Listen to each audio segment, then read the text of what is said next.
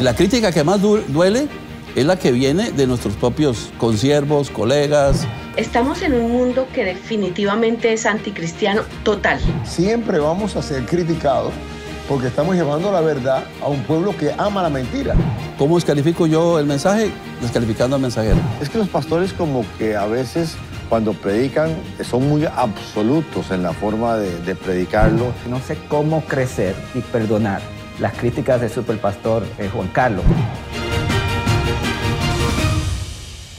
Así es, doña Esther de Colombia pregunta entonces lo que habíamos eh, comentado ahora, Pastora Consuelo, ¿por qué los pastores son tan criticados si solo exponen la palabra de Dios? ¿Qué opina usted, Pastora Consuelo? Yo creo que las críticas siempre vendrán precisamente por eso. Este, estamos en un mundo que definitivamente es anticristiano total.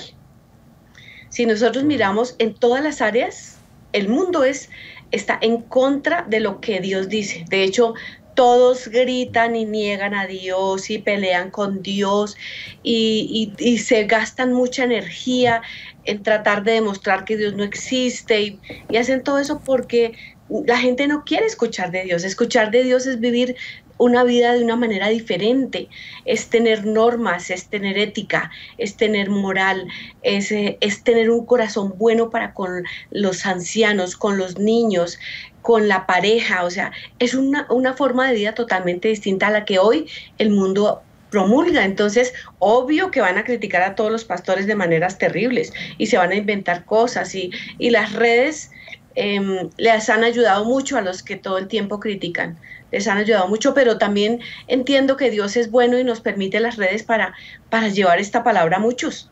Entonces tenemos que usar lo que ellos usan, pero para el bien. Pastor Delgado, ¿qué opina? Tremendamente claro. Eh, lo que ella ha dicho es súper correcto. Siempre vamos a ser criticados porque estamos llevando la verdad a un pueblo que ama la mentira. Entonces, figúrate, va a haber una, un, impacto.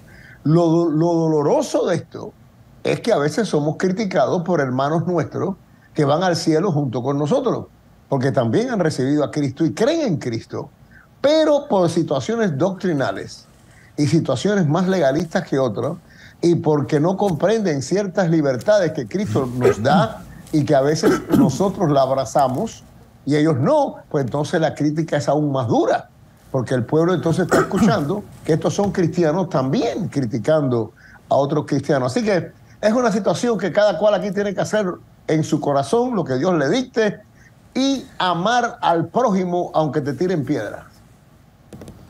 Yo podría agregar un par de cositas. Eh, creo que también somos criticados porque a veces usted no puede criticar el mensaje porque el mensaje es perfecto, entonces critica al mensajero. ¿verdad? Esa es una opción. ¿Cómo descalifico yo el mensaje? Descalificando al mensajero. Y la otra, somos criticados porque a veces lo, merecemos, ¿verdad? Porque no siempre hacemos lo correcto, porque a veces nos metemos en campos que no tienen que ser. Y la forma más sencilla, le dice la Biblia que la luz vino al mundo, los hombres hermanos más las tinieblas, entonces la gente de las tinieblas critica a la luz. Pero creo que con el pastor Alberto estamos de acuerdo totalmente. La crítica que más duele es la que viene de nuestros propios eh, consiervos, colegas, hermanos en Cristo. Esa crítica que uno a veces menos entiende, ¿verdad? Que a veces es por rivalidad, por enemistad, por envidia. Eh, no deberíamos ser a veces tan críticos y ser un poquito más comprensivos del otro hermano. Pero yo sí creo que hay un espacio sano para criticar y que la gente nos critique, no veo problema. El asunto es que nos critiquen y nunca vean lo bueno de lo que estamos haciendo. Sí. Que la crítica se convierte como en ataque y ahí es donde viene lo Se ve muy personal a veces. Claro, claro, claro, Sí, y cómo, y cómo tú lidias con la ofensa. Este, eh, perdón, ¿Cómo lidiar con la ofensa? Eh, pastores que quizás estén escuchando, en este camino hay que aprender a perdonar, eh, especialmente cuando esas críticas y ofensas vienen, como dicen, como dijo bien el superpastor Delgado, de la gente que está cerca. Jesús lo dijo, eh, el discípulo no va a ser mayor que su maestro. Y si se lo hicieron a él, no lo van a hacer a nosotros. Yo no sé todavía, sin embargo, que me ayuden a alguien a crecer, a que no sé cómo crecer y perdonar las críticas de superpastor eh, Juan Carlos. Todavía, eh, desde el año pasado, tengo ofensas. Esas son muy fuertes, pero es verdad que viene con el territorio y, si hay un pastor escuchando, tenga cuidado con su corazón. Y si alguien me puede aconsejar cómo lidiar con esta, pues aquí estoy. Es que Dios lo tiene un curso de perdón. Yo creo que Juan Carlos no se está riendo. Juan Carlos no se está riendo, no le gustó la cosa. Dale, hermana Consuelo. hermana Consuelo, dale. Tiene al, al, pastor Orlando en un curso intensivo haciendo un PhD de perdón. Entonces, tranquilo, está creciendo de todas maneras. Nada más que no me, si me llevas a las vacaciones que tuviste, que duraron como 10 años, pues quizás pueda yo este, aliviar. No, no, en verdad que no, contentísimo. Yo amo al su pastor Juan Carlos y lo admiro y es una persona de Dios.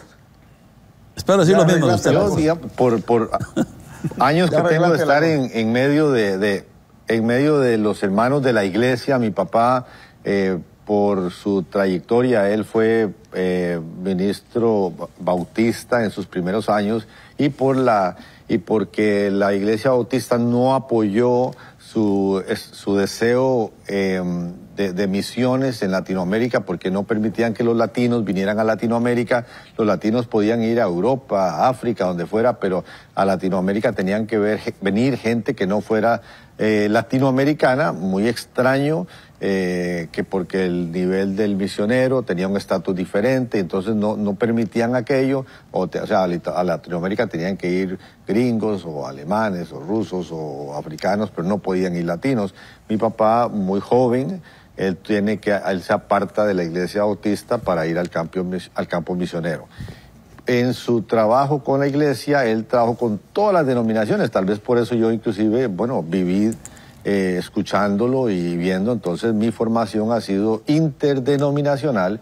Y creo yo que el problema de las críticas dentro de la iglesia evangélica, porque he estado dentro de la iglesia evangélica desde que nací y mucho en el mundo interdenominacional, es que los pastores como que a veces cuando predican son muy absolutos en la forma de, de predicarlo y entonces como que todos lo saben, ¿verdad? Como que es cuando predican el que no piensa así es un anatema y, creo que ahí eh, tal vez debemos de cambiar un poquito como, como iglesia y como liderazgo.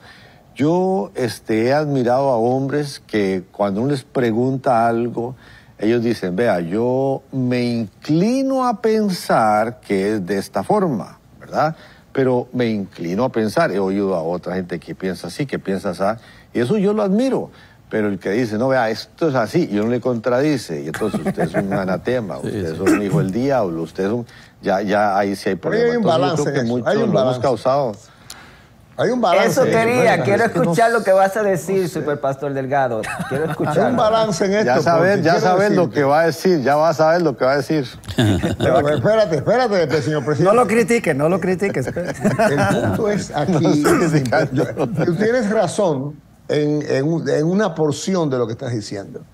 Pero si yo voy a convencer a alguien, tengo que proyectarme autoridad y darle seguridad de lo que yo creo. Si yo no puedo, igual que un producto, si yo estoy, si esta taza que tengo aquí que de café, yo no creo que me aguanta el café y estoy bueno, tal vez aguanta, tal vez tiene un huequito, la gente no la compra. hay que tener total confianza en el producto que uno está vendiendo. Y en esto parece que no, pero estamos vendiendo una, una verdad extraordinaria que es para el bien del pueblo, que es evangelio, nuevas, nuevas.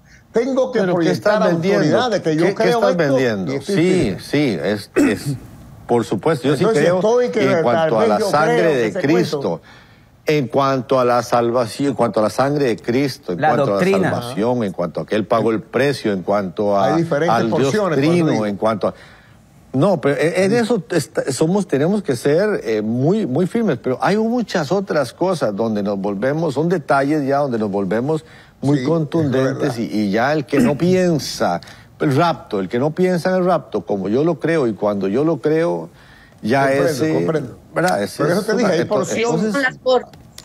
Hay porciones. Yo creo que no, no podemos pelear por las formas.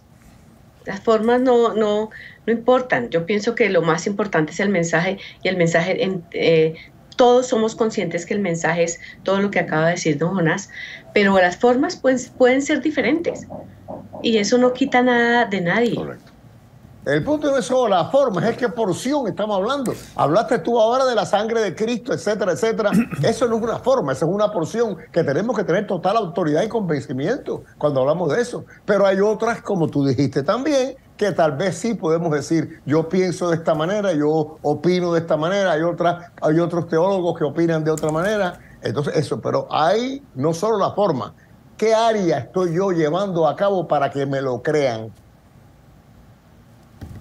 Sí, en verdad lo que dice don Jonás está cierto, porque sí que yo vi muchas divisiones este, en la iglesia por cosas que, si miras atrás, no debieron de haber pasado. Y la gente llamó hijo del diablo a iglesias que están predicando la palabra. Mm. Había mucha enemistad entre los pentecostales y los bautistas en esos tiempos en el que yo me convierto.